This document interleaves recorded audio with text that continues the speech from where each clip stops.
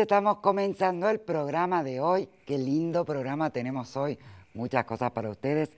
Recuerden nuestra página manosalaobra.tv. Ahí pueden entrar, tienen videos paso a paso y muchísimas técnicas para disfrutar. Así que estoy con Marcela y Merito. ¿Cómo le va? Pero muy bien. Hoy estamos con el embellishment. Sí, a full con eso. Vamos a decir qué significa embellishment en español, porque todo el mundo habla de embellishment, pero ¿qué significa? No, todos aquellos objetos o cintas, avalorios, eh, eh, pedacitos de eh, incluso de pañolensi con formas, como en este mm, caso de mm. corazones y de flores, que simulan botones y además los botones también que vienen de distintos colores, enacrados, todo aquello que sirve para embellecer, como dice la palabra en inglés, nuestros trabajos. Y me encanta también eh, la maquinita, esta, no, esta caja está buenísima, mira todo lo que puedes embellecer. Y además, bueno, vamos al trabajo, que el trabajo está espectacular, me encantan las telas, me encanta el quilting, me encanta también poder trabajar con la máquina porque hay mucho para hacer. La que verdad que sí, hoy en día nos dan muchísimas opciones y realmente es, hermoso ver los trabajos terminados. Eh, partiendo de, las telas, como vos decías, quería mostrar aquellas que ya vienen engamadas. Entonces, mm. en una misma tela vienen distintos modelos dentro de la misma base de, en este caso, una misma base blanca y este con, bueno, con dibujos en fucsia y en verde. Hermosísimo, me encanta me encanta. Bueno, eh, partimos de la base de elegir dos, eh, de cortar, mejor dicho, dos cuadrados de 5 pulgadas. Mm. Eh, lo que hacemos es, después que lo cortamos a 5 pulgadas, lo que hacemos es superponer mm. nuestros cuadrados. Cuando superponemos, usamos una regla, marcamos la diagonal, ¿no es cierto?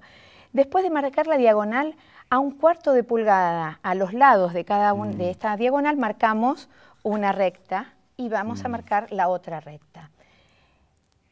Luego vamos a ir a la máquina. ¿Y por dónde vamos a coser? No por la diagonal, sino por las rectas que están a los costados. Perfecto. Y eso es lo que después nos va a permitir armar nuestro em, triángulo. Entonces nos posicionamos en la máquina, bajamos nuestro... y comenzamos a coser. En este caso hemos mm, puesto un, hilo bastante contrastante para poder eh, mostrar, ¿no es cierto?, lo que nos queda. Perfecto, ¿eh? porque la idea es que se pueda ver bien cómo estamos cosiendo con la máquina claro. y que se vea perfecto. Fíjate cómo estamos cosiendo a un cuarto de pulgada de la diagonal. Mm. Ahora coso por la otra. ¿Y por dónde voy a cortar? Eso tendría que hacer lo mismo de este lado, ¿no es cierto? Entonces, ¿pero por dónde voy a cortar? Voy a cortar por la diagonal. Mm. Con nuestro cúter circular me posiciono, presiono bien y cortamos. Perfecto. Esto mágicamente quedó armado nuestro cuadrado nuevamente, pero ya unido con dos telas diferentes. Me encanta tu elección de telas siempre. Cada vez que venís, digo, viste que siempre me fascina todo el gusto que tenés. Bueno, acá tengo un avanzado en el cual ya está planchado, porque siempre pasamos por la plancha. Y entonces, ¿qué pasa? Nosotros tenemos que ajustar la medida. Entonces, cuando si tenemos un, eh, cuadrado de 5 pulgadas, las costuras nos van a llevar siempre un cuarto de, mm. pulgada alrededor. Con lo cual, yo tengo que ajustar a cuatro y medio y a cuatro y medio, y ahí corto. Entonces, presiono bien, y con el cúter firme. para que te quede firme, perfecto. ¿eh? Exacto. Y voy girando nuestro cuadrado para que me quede. Siempre tenemos que tener en cuenta nuestra diagonal, que es la que nos va a referenciar para que nos quede nuestro cuadrado perfecto. De esa manera nos queda ese cuadrado que sería el, este, el terminado. Acá lo tenemos, ¿eh? Porque vos vas a tener, acá están uno, dos, tres. Ah, claro, porque vos lo vas combinando. Claro, eso mm, también. o sea, alterné los lisos y alterné los, eh, los del falso square. Entonces, en este caso, ¿qué hice?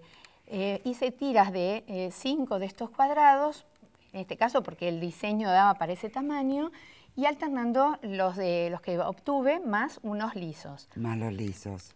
Y es importante que cuando vayamos a la máquina a coser, siempre unamos em, los, cuadrados de a dos. O sea, porque en realidad si no después empiezan a haber algunas fallas. Claro, y lo que queremos es que quede impecable, porque pensá que vos estás en geométrico, entonces te tiene que quedar impecable. Impecable, exactamente. Bueno, después de que fui este, juntando de a dos, después lo adhiero otros dos, después armo otro cuadrado al costado y después recién ahí coso el cuadrado, digamos, que, tuve con, con este. Para seguir con nuestro trabajo, como siempre, el ribete como para diferenciar el top de lo que sería el contorno, he cortado tiras de mm, dos pulgadas y media y las fui cortando. Primero cosí de estos costados y después los, los eh, el frente y la parte de atrás. ¿Cómo seguimos?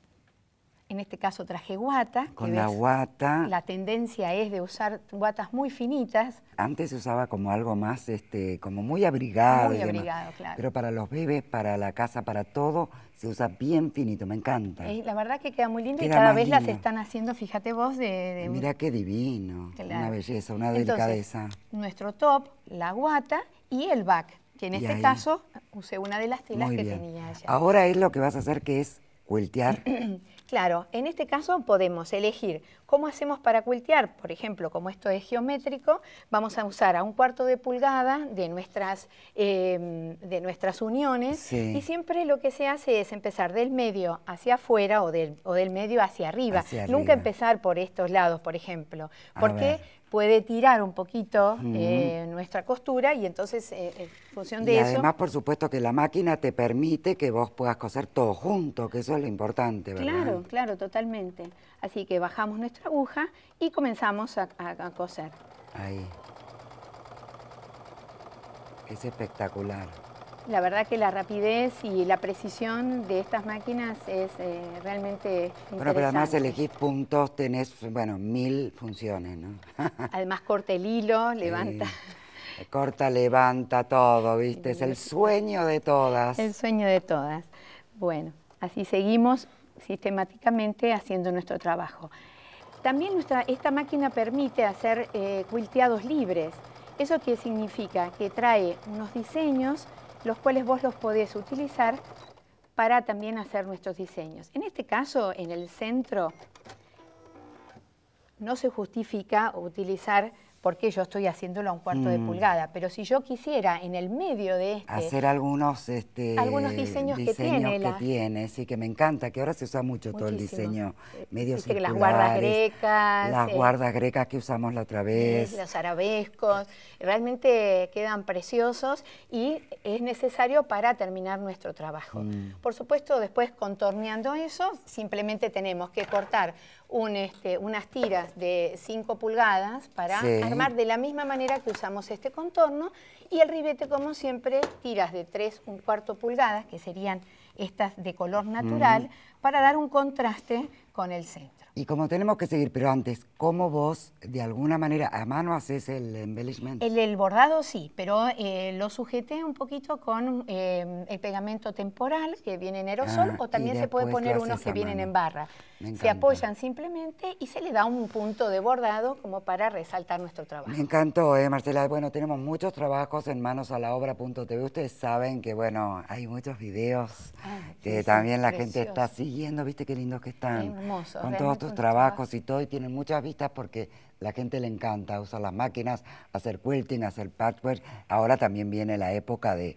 De estar un poquito adentro y, y aprovechar, ¿viste? Y abrigarnos un poquito. Gracias, ¿eh? me encantó. por favor, me encantó y seguimos, no se vayan.